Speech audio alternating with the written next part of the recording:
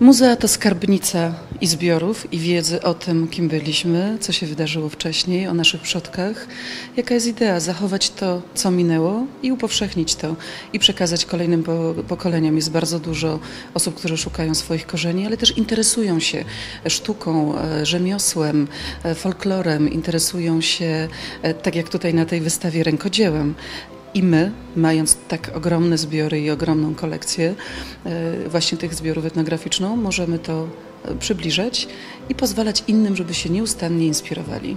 Oprócz stałych wystaw w ratuszów na Placu Wolnicy, y, mamy wystawy czasowe, tutaj gdzie jesteśmy właśnie w Domu Esterki przy ulicy Krakowskiej 46, ale kosmos. I to jest nieprawdopodobny kosmos serwetek, haftów, obiektów e, przygotowanych przez członkinie Stowarzyszenia Lud Art, które od 30 lat działa przy Muzeum Etnograficznym w Krakowie. One także inspirują się naszymi zbiorami.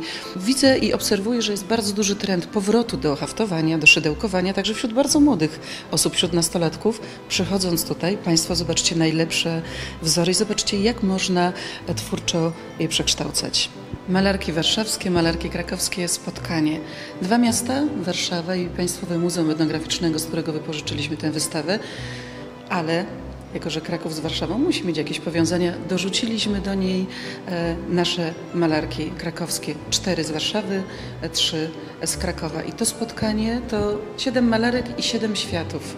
Światów wrażliwości, e, światów sztuki nieprofesjonalnej. A w tych obrazach zobaczycie Państwo i osobowość, i wrażliwość wszystkich tych kobiet, bo to taka bardzo kobieca wystawa i emanuje tą kobiecą energią w każdej sali trochę inną.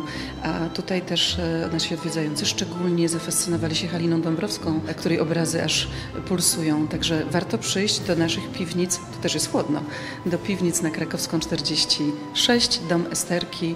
Zapraszamy. Malarki warszawskie, malarki krakowskie. Bardzo udane spotkania.